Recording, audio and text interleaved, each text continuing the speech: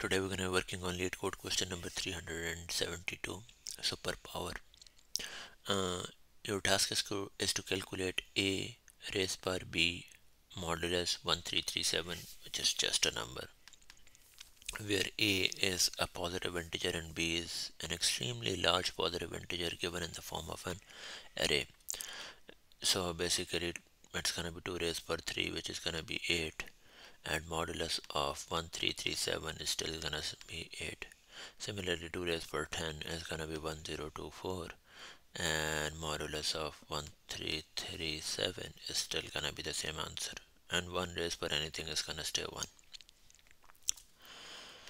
okay the way we're gonna be doing it is uh, we're gonna be using a helper function here uh, just to kind of um, break down the code so even before that uh, we're gonna have our private static uh, final int let's call it m uh, for the modulus. Uh, we're gonna be taking the modulus of our intermittent results with this number.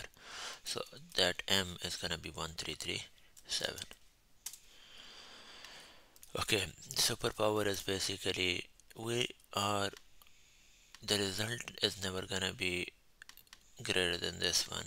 So initial thing we want to do is to take the modulus of a1337 meaning if it is greater than 1337 we're just gonna take a mod.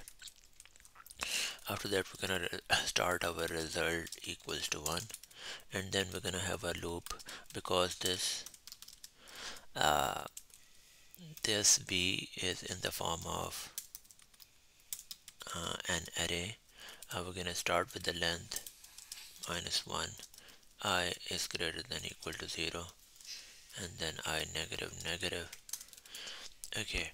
And then what we're going to be doing is that our result is equal to result multiplied by uh, we're going to call our helper function helper is basically a normal power. Uh, helper function which is basically a normal power. We're gonna send it a and uh, this b of i. So we are actually processing b's uh, starting from the uh, the least significant to the most significant so in this case in example 3 we're going to be sending b uh, 2 and then 5 and then 8 and then 3 3 and then 4 okay and we want to make sure that the answer which is returned back from the helper function stays less than m. So we're going to be taking the mod.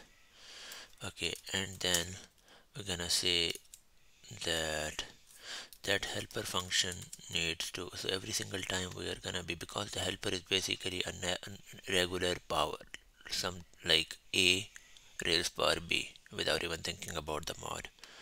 So so every single time we're gonna increase because we're not sending the num uh, the the complete array we're just taking helper function one at a time. So we're gonna be updating our a by that helper function. So in other words we're going to be updating a by uh, to a raised by 10 so once we are done with that we can return the result. What helper function does public int it returns an int it takes two numbers int a and int b. Okay. Again it sets the result equals to 1 and uh, while the b is not equal to 0 uh, there are two things. If the b is basically so if the b is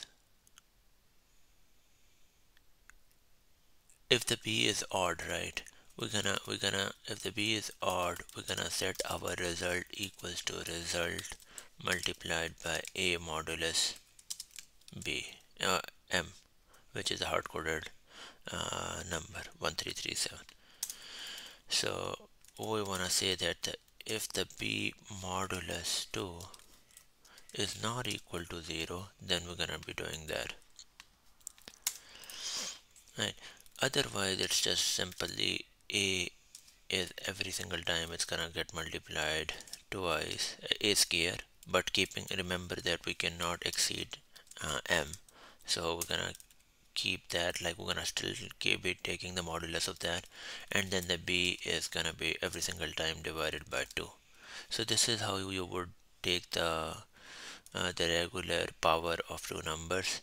But remember that uh, if it is b is odd right because every single time you are actually uh, so if it is even it is simply gonna keep doing that. We are just dividing every single time by 2 but if it is odd like uh, if it becomes odd then we need to uh, uh, do it one more time. The result is gonna be uh, uh, basically at that time we're gonna update our result whenever it becomes odd because we're gonna keep doing it until it becomes zero.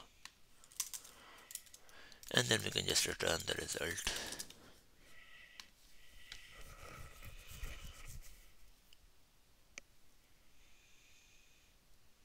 Looking good.